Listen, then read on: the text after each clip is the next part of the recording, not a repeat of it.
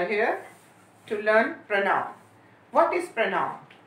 Pronoun, a word used in place of noun is called pronoun.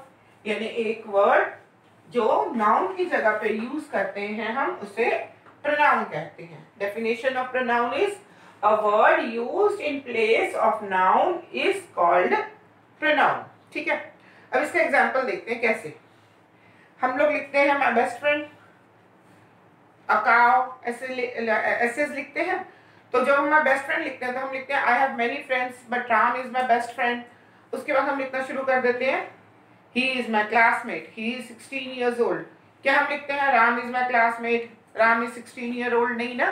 तो हम क्या करते हैं, जो ही वर्ड यूज़ किया गया राम की जगह पर, वो प्रोनाउन है। अब देखो आप जैसे कि हम बोल रहे हैं इट चेयर के लिए हम यूज़ करेंगे it this is a chair it is brown colour it has two handles बोल रहे तो हम चेयर यूज़ नहीं कर रहे बार बार चेयर की जगह पे क्या यूज़ किया हमने? इट तो it that word is pronoun समझ आया बेटा आपको प्रोनाउन क्या होता है? चलो, इसके बाद हम पढ़ते हैं टाइप ऑफ़ प्रोनाउन अब टाइप ऑफ़ प्रोनाउन पढ़ेंगे, यहाँ पर तीन टाइप्स दिए हैं। Personal pronoun demonstrative pronoun and interrogative pronoun पहले है पर्सनल प्रोनाउन फिर डेमोन्स्ट्रेटिव प्रोनाउन एंड तीसरा है इंटेरोगेटिव प्रोनाउन सबसे पहले हम पढ़ेंगे personal pronoun what is personal pronoun pronoun used in place of proper noun proper noun की जगह पर यूज़ किया गया नाउन प्रोनाउन होता है जो वर्ड प्रॉपर नाउन की जगह पे हमने यूज़ किया, वो वर्ड को हम पर्सनल प्रोनाउन कहेंगे. ठीक है? It is of three types ये तीन तरह का है. Pronoun of first person, pronoun of second person and pronoun of third person.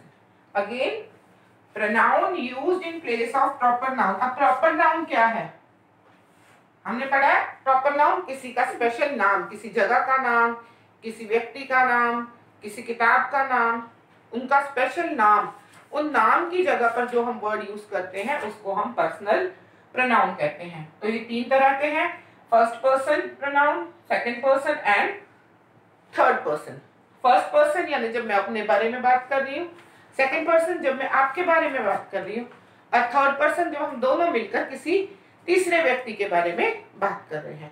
Again first person अपने बारे में बात करना सेकंड पर्सन जो आपके सामने खड़ा है या आप किसी से बात कर रहे हैं, उसके बारे में बात करना एंड थर्ड पर्सन दो लोग मिलकर किसी तीसरे के बारे में बात कर रहे हो, उसको हम थर्ड पर्सन प्रोनाउन बोलते हैं। एग्ज़ाम्पल पर्सनल प्रोनाउन के एग्जाम्पल्स है। Dash ऑफेंट reads until late at night dash ऑफेंट यहाँ पर हम नाउन प्रोनाउन लिखना है। तो अमन एंड मीना, ये तो दोनों हो गए नाउन तो ये तो पहले ही कट हो गया। अब ही और दे में हमें देखना है कि यहाँ पर कौन सा लगेगा। We have to see which one we can apply here dash often reads here it is verbs form form के साथ s लगा हुआ that means the word which can be used in singular तो he can be used as singular singular पर जो है वो he है तो यहाँ पर हम लिखेंगे he often reads until late night dash is from Mumbai Rosie it is a noun तो ये नहीं आएगा my friend यहाँ my के साथ friend भी है ये भी नहीं आएगा दिस स्टैचू ये भी नहीं आएगा तो क्या रह गया सिर्फ़? He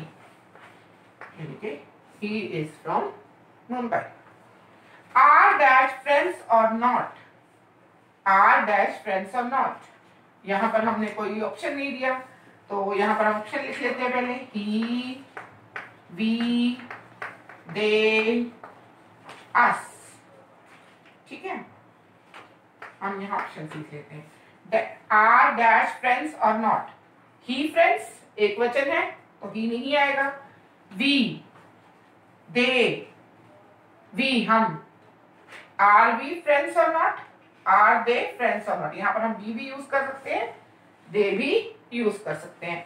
अस एंड ही नहीं आएगा। तो यहाँ दो चीज़ें यूज़ हो सकती हैं आर वी फ्रेंड्स या are they friends or not Sita isn't an architect. Dash is an doctor. अब क्या है? सीता आर्किटेक्ट नहीं है, वो क्या है? डॉक्टर है। तो सीता इज़ अ गर्ल तो गर्ल के लिए हम दे यूज़ करेंगे?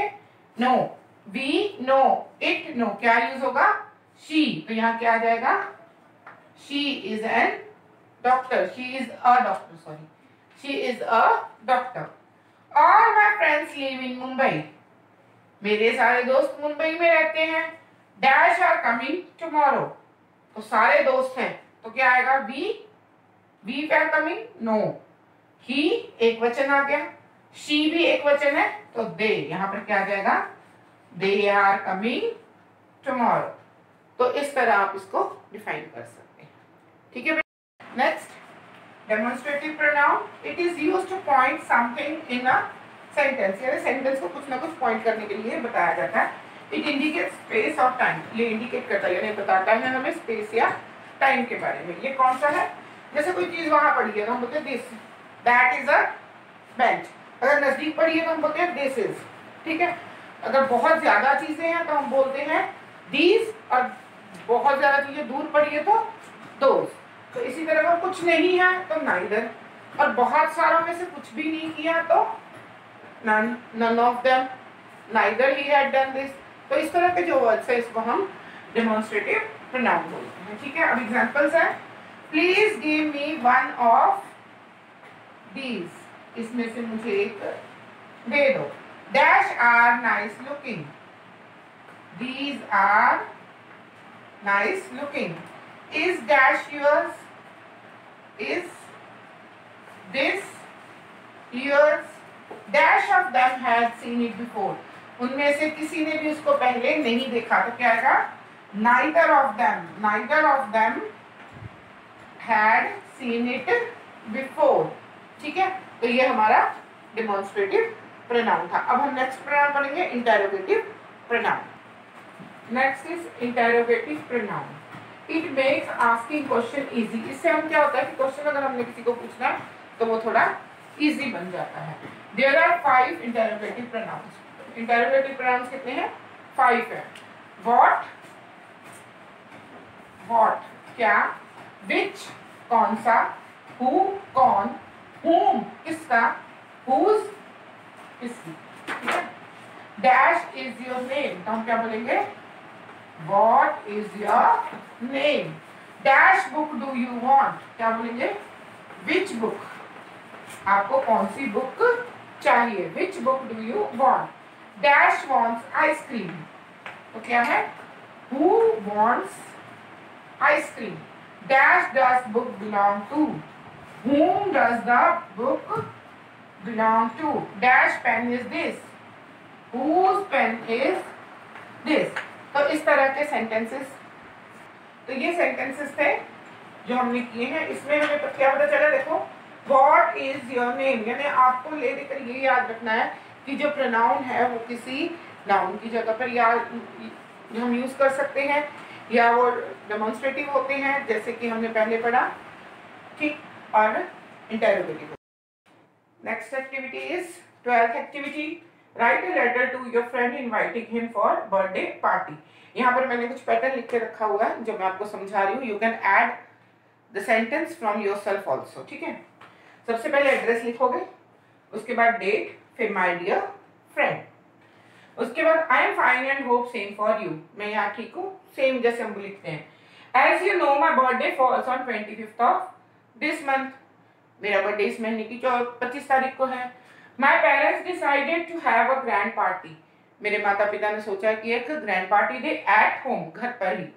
You are coming is must you are coming is must I hope you will not disappoint me तो मुझे डिसअपॉइंट नहीं करोगे। आप लिख सकते हाउ यहाँ पर आप और लाइन ऐड कर सकते हो। जैसे I am waiting for you how are uncle and aunty bring uncle and aunty with you all that things ठीक है? अब इसको जितनी बड़ी करना चाहते हो you can do but the sentence making should be correct और लास्ट में with lot of loves you are sincere यहाँ नहीं लिखना है, यहाँ ब्लैक बोर्ड पे जगह कम है तो यहाँ नीचे, इस जगह पर आपने लिखना है यू आर सिंसियरली और फिर उसके बाद अपना नाम। ठीक है बेटा? समझ आ गया? ये आपकी है एक्टिविटी ट्वेल्व एक्टिविटी थर्टीन जो है, वो है आपकी ट्रू एंड फॉल्स लेसन में से ही सेंटेंसेस है जिसको आपने ट्रू एंड फॉल्स लिखना है। तो पहला सेंटेंस है, आपने स्टोरी अच्छे से सुनी है तो आप आंसर आराम से दे पाओगे। तो first sentence is the boy love the tree true yes the tree like the boy to swing from branches of the tree tree? Yes. The tree became sad whenever the boy came back. Tree उदास हो जाती थी जब लड़का आता था? No तो this is false the tree gave the boy a lot of money क्या लॉट ऑफ़ मनी दिए थे ट्री ने? No he gives him apples branches all that things but does not give money तो this is also false the tree asked the boy to cut off her branches and make a house branches दिए थे घर बनाने के लिए? Yes the the tree the boy wanted a ship to go to another city ship चाहिए थी? No no, उसको क्या चाहिए था? बोट चाहिए थी. तो it is false the tree allow the boy to cut down her trunk trunk काटने की दी थी ट्रे ने? Yes true at last the boy wanted a quiet place to sit and rest last में लड़के को आरामदायक जगह चाहिए थी रेस्ट करने के लिए? True the tree refuse the boy for sitting on her stump क्या ट्री ने जवाब दिया था उसे। नहीं तो ये क्या है?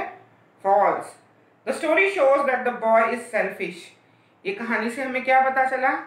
कि लड़के को जब जब ज़रूरत थी, वो तब ट्री के पास आया अदरवाइज़ उसने ट्री का ध्यान नहीं रखा। तो द बॉय वॉज़ सेल्फिश ठीक है?